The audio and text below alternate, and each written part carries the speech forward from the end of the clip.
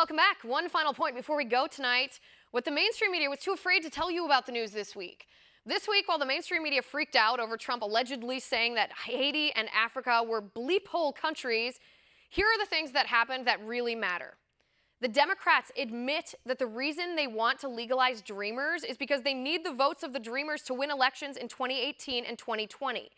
A leaked memo written by a former Hillary Clinton aide says, and I quote here, if Democrats don't do everything in their power to protect Dreamers, that will jeopardize Democrats' electoral chances in 2018 and beyond. The fight to protect Dreamers is a critical component of the Democratic Party's future electoral success. In other words, all that talk about compassion and morality, that is a lie.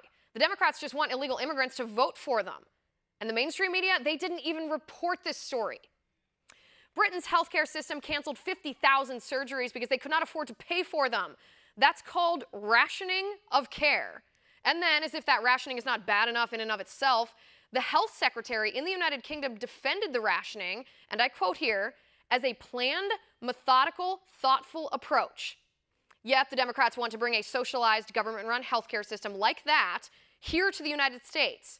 But did we hear this story from the mainstream media? Of course we didn't. They don't want to damage the Democrats' talking points about so called free health care. A radical Muslim imam in North Carolina who teaches at a mosque that's turned out five terrorists in the past few years, he called for the destruction and murder of Jews. Now, that's the kind of hateful Islamist rhetoric you might expect to hear from a terrorist in the Middle East, but this guy is here, right here in our own backyard. And how did he get here, you ask? Well, he's a Syrian refugee. But did the mainstream media bother to tell you about that? No, they didn't. Last but not least, a grand jury takes sworn testimony in the case of Bernie Sanders' wife, Jane Sanders. Mrs. Sanders is accused of committing bank fraud, telling the bank that she had over $2 million in pledged donations when she did not have that money in order to get the bank to give her a loan. That's textbook bank fraud, and witnesses are now giving testimony about it. Now, Bernie Sanders denies that any of this happened, which is ironic since he claims to be a crusader against corruption. And the mainstream media? Well, of course, they ignore this enormously significant scandal because it's the only way to protect Bernie Sanders' chances in 2020. The mainstream media doesn't care to report any of that to you, so we will. And that is my final point.